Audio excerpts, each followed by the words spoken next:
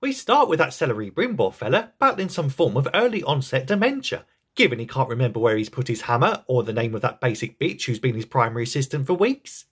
And after being told the dwarves are late with their mithril deliveries and also being called out for being a right grumpy Gregory lately, old Sellers is primed to smack a bitch up.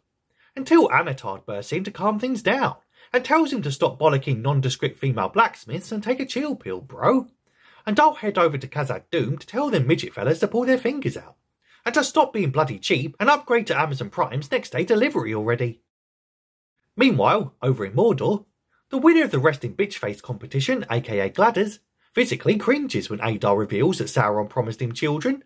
And before she can say, I know schools these days teach some truly weird shit, but I don't think you'll have much luck getting two sausages to make a sprog IRL. He brags about kind of sort of killing Sauron the first time with his own crown and an army of mercs. But if they can get hold of her rings, they can then take the spiky helmet to Eregion and finally end him once and for all. or some sheet. Elsewhere in Numenor, Poor Elendil gets a Trump treatment by being indicted on false charges in a farcical kangaroo court run by his own enemies who hate his guts. But are mercifully willing to quash his convictions if he totally bends the knee and pledges fealty to that usurper Pharazôn fella as a true king, and thereby chuck that disabled ethnic minority queen under the bus and stuff. But naturally, he don't really want to cuck out and humiliate himself worse than Prince Harry in front of all his people, so just tells him you can stick your offer up your gonga, pal because that chocolate bird is my boss. So stop trying to manipulate me into doing actual treason and also making me look a right tit in front of all my mates, and shut up about it already. Also elsewhere, Thomas Bombadil gives phony fakey Gandalf a sudden ultimatum and tells him he has to make a choice between saving his new mate Nori from that dark wizard fella and his team of naughty bounty hunters, or staying with old Tom Bomb here and learning how to master his magics and stuff because the latter would ensure that the entire realm is saved over the lives of a few hairy Harfoots. Though if he chooses the former, he can't ever come back here to resume his training, because reasons. Speaking of hairy Harfoots, Nori wonders whether she should actually turn herself in to maybe have a chance at saving her BFF Pop Pops. While said Poppy Bird is out here lipsing that Asian vagrant who clearly can't believe his fucking luck getting a snog off the first fat bird he's run into in the desert. Nice. Meanwhile, over in the land of vertically challenged individuals of limited stature, Durin Jr. passively aggressively bollocks that Anatard fella when the Lord of the Gifts asks for more mithril to build extra rings, which are clearly corrupting his dad and making him more paranoid than the Jeremy Kyle guest back in the day. But the king totally refuses Tardface's initial proposal of a truckload of pussy old timber, mainly because he knows war is coming to Middle Earth and the elves are totally fucked without their special mineral, and will thus come grovelling back with a better offer. And Aniltard promptly leaves with a smirk. After seeing a vision of the future, hinting they're all about to be wiped out by a giant hell hellbeasty bullrog thing any day now anyway. And after worrying that his dad is now a total slave to the will of the ring, he challenges the king to take it off and totally prove he ain't been cucked by a simple piece of jewellery. But he totally refuses after the ring whispers to him and tells him not to listen to hairy midgets with dodgy accents no more. So as a last resort, Durin tackles his own father and totally tries to force himself on his ring. It is steady. And just ends up getting smacked across the fucking room for his troubles. Which just makes him burst into tears when his diverse wifey bird Disa tells him how they now have no choice but to act to save the kingdom. Because his dad opening up another shaft and totally doubling the mining efforts will only lead to their entire ruin and stuff. Speaking of blubbering melts, an equally teary Aryan begs her dad to stop being a stubborn git and totally sell out his integrity already, given he's now facing capital punishment and death by sea worm. And she's already lost to her Latin looky likey brother bro, and can't face now losing her papa and all. But he just says no way, fam, until Míriel bursts in and also tells him to stop trying to be a martyr. Cause Numenor is gonna need blokes like him who lead nautical cults and worship the sea and she. The sea is always right! The sea is always right! Later, back in Khazad Dûm, Disa has channeled the energy of Extinction Rebellion and plonked herself in front of the miners whilst refusing to move. So head honcho Narvi sets his men to haul her away already. Until she suddenly starts having an adult tantrum and cringily screeches in their faces, which eventually summons a swarm of bats. And before you can say, oh god, don't tell me it's fucking Morbin time again, they run off like a riot bunch of scaredy cats whilst Pharazôn and his royal goons promptly send Elendil to the execution pond. But is luckily saved in the nick of time by the stunning and ringing Blind Black Queen, who completely emasculates him by volunteering herself to go in his place. Naturally, this is music to Pharazôn's ears, given he can now get rid of the actual heir to the throne totally legitimately and in front of the people. And although Elendil protests at the undermining of his own heroics, she soon enters the pool and is totally dragged down by a giant fuck off sea worm. But also, luckily, turns out said giant fuck off sea worm is a giant racialist and don't really want to gobble down an individual with such high melanin content, because I guess they play havoc with the old cholesterol and shit. So promptly spits her back up to the surface. And poor Pharos just can't believe his cunning plan to be rid of his most troublesome ops has backfired in his face somehow, and has hilariously only ended up undermining his own authority, now that people believe she was spared by the gods and likely is a true ruler and stuff. No! Elsewhere, Galadriel was busy spilling her guts to Adar, given she accepted his offer to do a trucy team up to stop their common enemy, and probably tells him all about how Halbrand is actually Sauron and that Elrond is heading back to Eregion with a ring of power and shit. But after realising he plans to destroy Eregion in the process, Gladys warns the crusty fella that taking his army of orcs over there must be exactly what Sauron wants, given he's a super secret cunning genius what once got killed by his own hat, because that'll just result in giving him an army of his own. But he just says I don't give a shit, girl, and I'm totally going to do that mental siege thing. Now go back to acting school and shut up about it already. And we end with the Orcs beginning their attack on Eregion, as total carnage promptly breaks loose. And the sound of sirens and screams totally makes Celebrimbor slightly concerned. But Halbrand, aka Sauron, aka Anatard, aka the Lord of the fucking Gifts and Silly Weeks, totally gaslights him again by saying everything's totally fine, bro and then proves it by manipulating his mind and creating visions of a multiracial utopia. Before handing him some more mithril muck, what he got from fuck knows where, and sends him inside to get back to work on the rings already.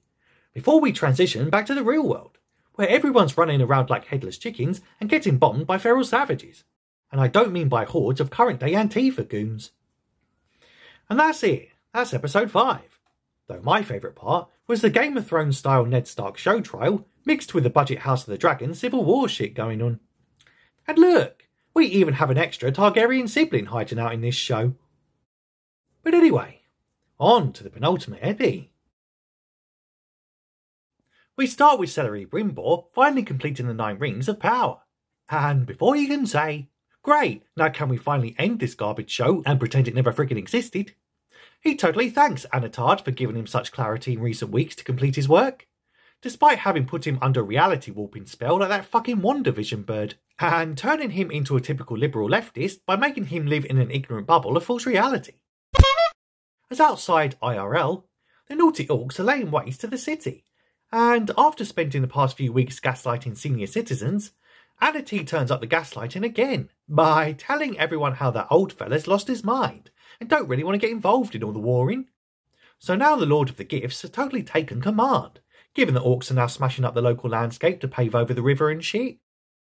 Elsewhere, King Durin tells Narvi to take his men and go deal with them just stop mining nutters who are camped out in front of the new dig site, because the greedy twat wants even more gold for fuck's sake.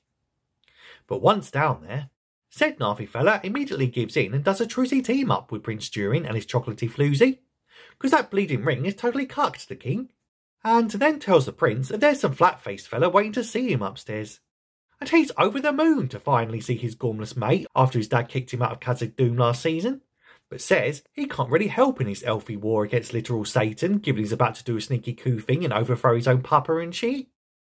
Meanwhile, back at Eregion, old Sellers has suddenly noticed he's in the fucking Truman Show, where the candle wicks ain't burned all day and the same mouse keeps running to the same spot every 10 minutes like that cat in the first Matrix film.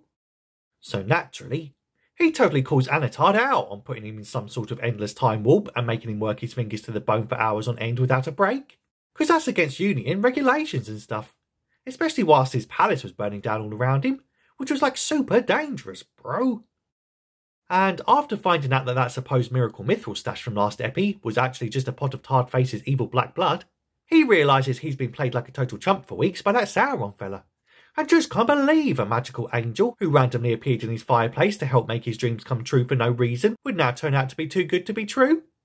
So naturally, he runs off to his sweet blonde assistant, whose name he can never remember, to totally snitch on his business partner being Beelzebub himself and she.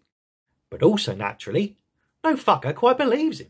Especially when Annatar tells them all this fella's gone full Biden, and they shouldn't listen to anything this demented donut says.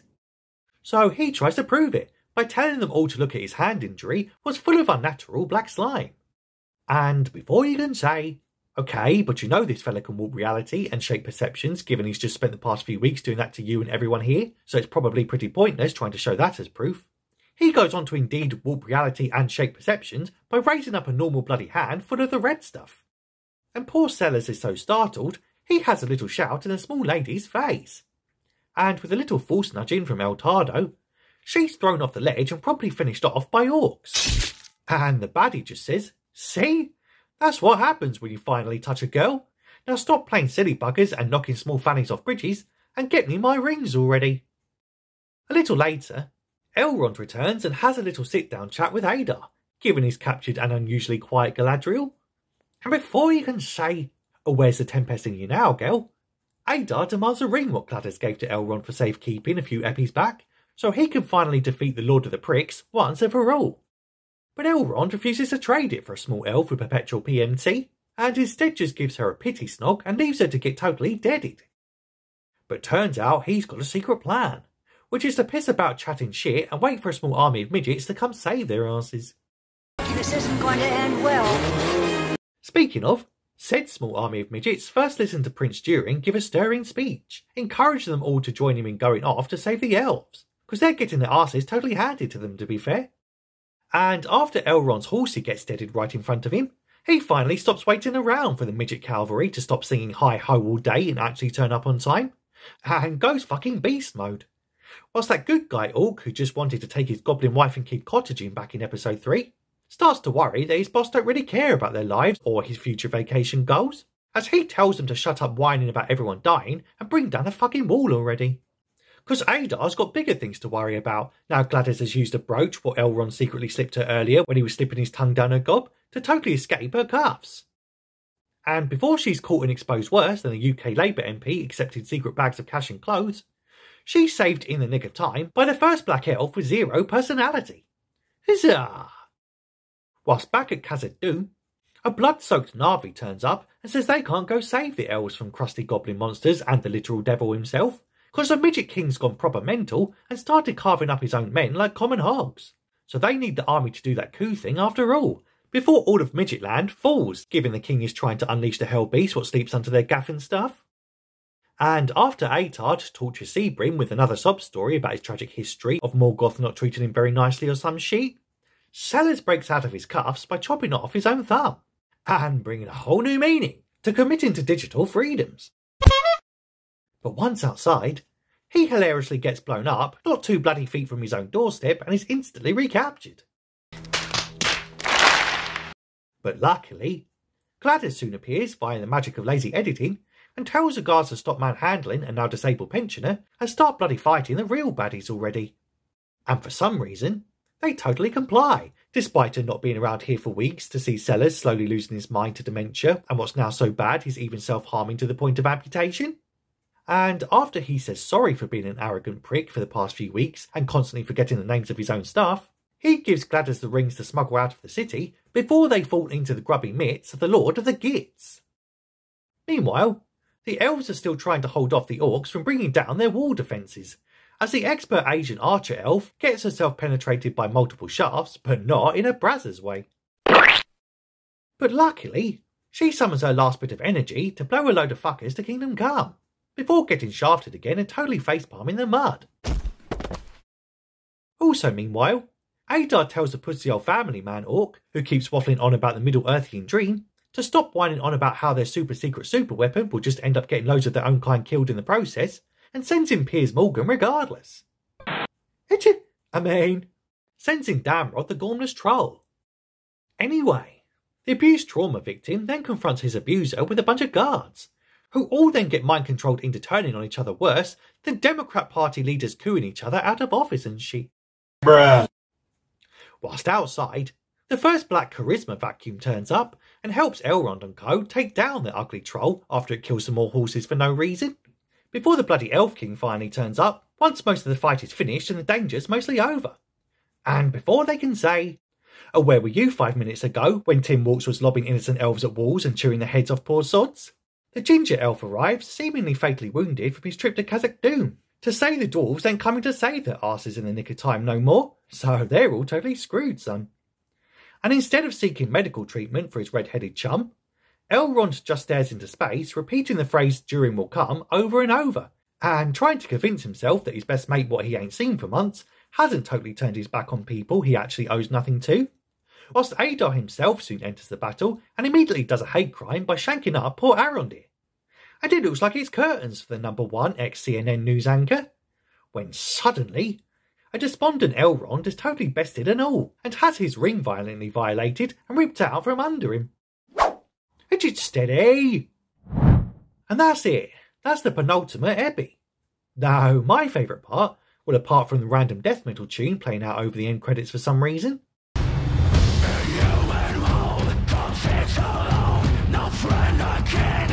Okay. was just how emotionally engaging and competent the writing was. Because although the Asian elf dies, the soulless ginger elf dies, and the dopey blonde assistant elf dies, the saddest death is somehow Elrond's horse, who we've barely even seen in this show. But anyway, that's the plot, and that's a lot. Considering that bell thing, so you don't miss the roast of the final epi when it drops. Tell me if you like this show in the comments, if you have time, and I'll take down Piers Morgan with you in the next one.